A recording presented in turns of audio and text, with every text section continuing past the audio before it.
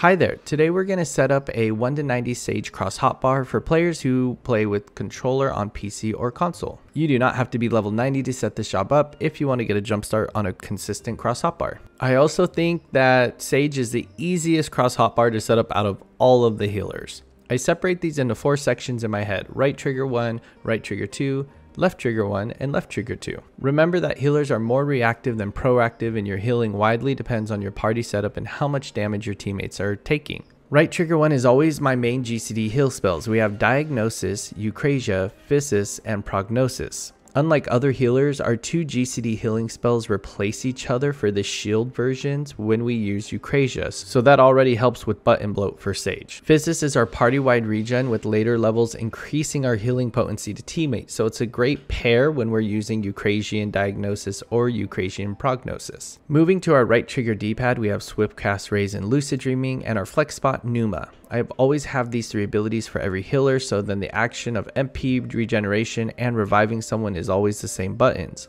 In my flex spot, I have Pneuma, which is our level 90 ability that can replace a GCD damage action when it's ready.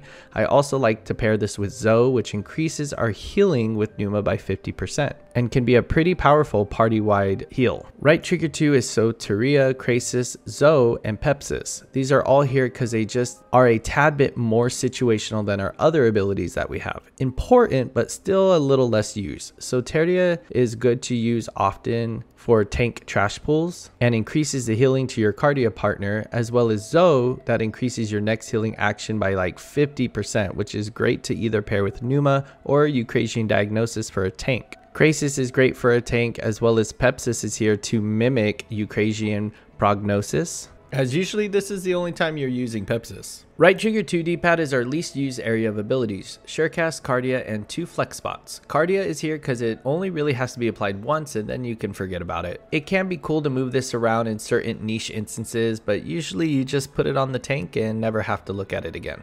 Left trigger 1 is our damage dealing GCDs. Dyskrasia, Asuna, Phlegma, and Dosis. Dosis is our single target damage ability and our damage over time when you use Eukrasia, so it limits the amount of abilities you need on your cross hotbar, which is really cool. Phlegma takes the place of our dot space or damage over time space that I usually use for other healers. It's also a super strong ability and should be used on cooldown. Left trigger 1 D-pad is our all-important job abilities and these work perfectly right here. We have Ixachol, Carachol, Torachol, and Druachol. Now, I know I'm pronouncing all those wrong, so don't come for me in the comment section. These are all actually pretty similar to each other and are used very frequently together. Ixa is our party-wide heal.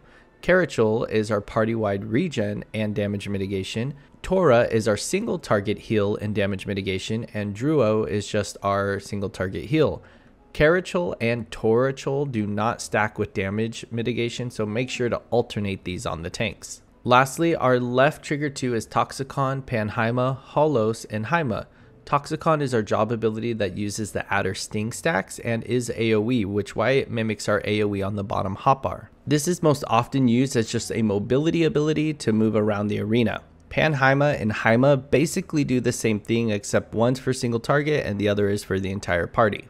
Holos is a heal and damage mitigation and can be used to keep up 10% damage mitigation on the tank at all times. You can also stack this ability with either Carachol or Torachol as it does stack in damage mitigation. Left trigger 2 D-pad is our gap closer Icarus, Rescue, Limit Break 3, and Rhizomata. Rhizomata is just here so when we need an extra stack of adder, then it's right in sight. Repose does not make it on the hotbar because it's practically useless, but Rescue finally does have a place since on our other healers, most of the time we can't fit it on the cross hotbar at all. As always, Sprint and other utilities are on hotbar 3. I don't personally put these types of abilities on my first two cross hotbar as it's very valuable real estate.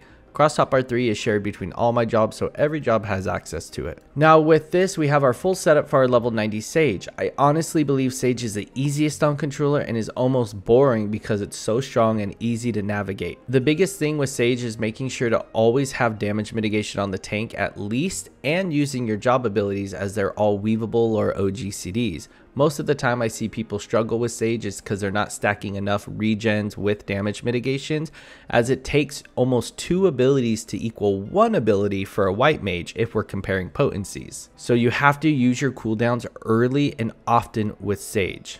If this helped even a little bit, don't forget to limit break through that subscribe button and I will link all my other controller guides for the jobs that I've done in the description box or at the end of this video.